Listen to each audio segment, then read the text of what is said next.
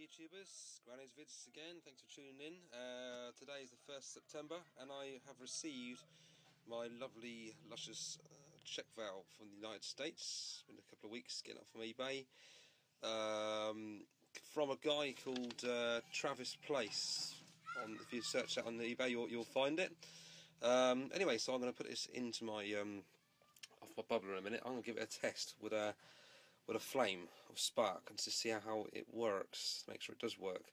Uh, you've got to be careful with these things, make sure the arrow which is in the middle here faces direction to my finger, so that's the flow of the gas, so make sure that's in the right way around, and uh, give this a test. Um, also, whilst I'm on here, I've ordered, been doing other bits and pieces, but no, I've ordered some um, uh, a microchip. It's um, it's basically a LM3914N LED driver chip. Uh, what I'm going to use that for, I'm using that for some circuitry. I'm going to make um, uh, some sort of like um, devices in the car so to read the outputs of a map sensor, oxygen sensor, um, temperature sensor as well from the vehicle. So I'm going to order some more of these. This is the first one. These are only about 99p. Um, it's pretty good value really. So I've got uh, some sockets as well to put the IC chip into. So that's another project I'm going to be doing later on in the week, maybe next week. Anyway, so I'm going to go back to put this into my generator and just do a, a little flashback test. Okay, so let's go through this then. So you've got the generator, bubbler. Water starts, starts, starts off in here, comes down the bottom, generates into hydrogen and oxygen. Water and air bubbles come up into the bubbler and recirculates the water. The, the gas comes out down the tube into my first bubbler via tube down here. Comes the gas comes out through this valve here, through the check valve, which is directional this way. Check the arrow. I don't know if you can see it there, but there's a small arrow there saying that way, and into your gas. Gas goes out into your engine. Let's turn this on. Um, now these, this thing's about two inches long, by the way. Um, it needs four pounds of pressure before it starts actually working. So let's turn the switch on. Uh, gas is generating almost straight away. It's working. That's that's from the main primary bubbler. Out through here, through the valve. And it's performing really well. Cool. So I'll um, do a test now and see if it can actually retard the flame coming through it. Okay, I've got it all set up now. Uh, check valves, if you can see, uh, just up here. This is my um, rocket launcher I made, if you remember, a few weeks ago.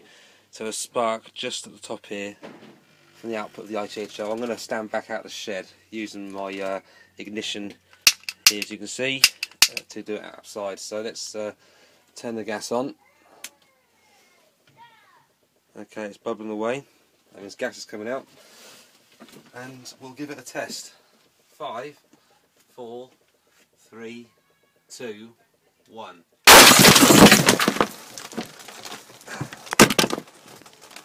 Didn't work, did it?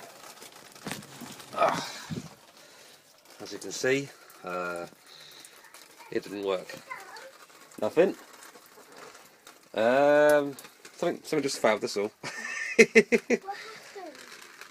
ah, the uh, valve has disappeared.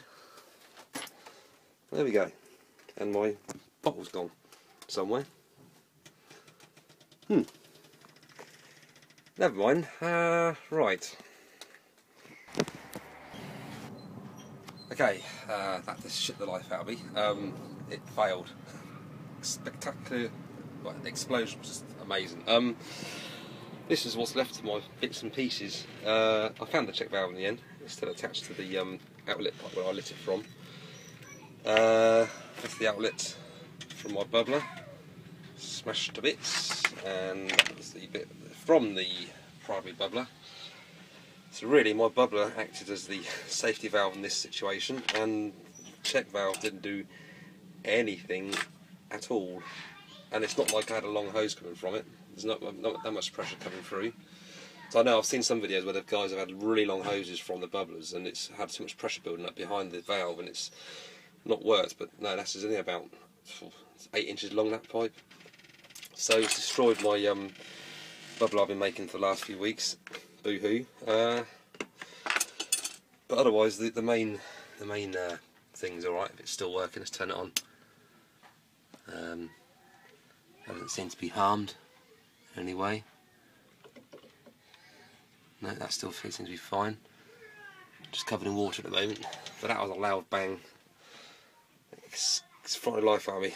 Okay, um, so warning guys, check valves. When you are testing them, stand well back. I have to speak to this guy on eBay. Tell him it didn't work. Thanks for watching. back to the drawing board, I'm afraid, with the bubblers. Take care now. Much love.